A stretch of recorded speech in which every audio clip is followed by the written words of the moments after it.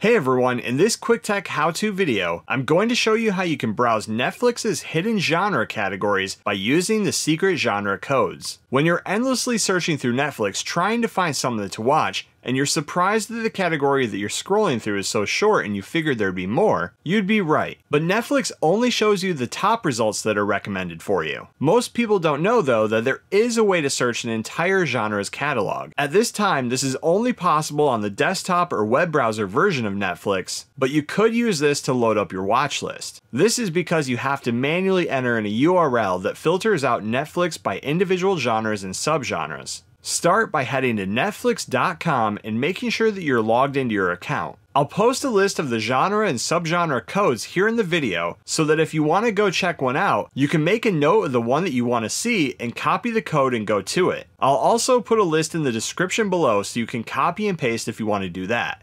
Let's use one of my favorite subgenres, supernatural horror movies, as an example. Looking through the list, we can see that the code for this is 42023. Now, up in the address bar, type netflix.com forward slash browse forward slash genre forward slash 42023 and hit enter. On the next screen, if you're asked, choose the profile of who's watching. You'll then be taken to the Supernatural Horror Movies category page where you can browse all of the content in that subgenre.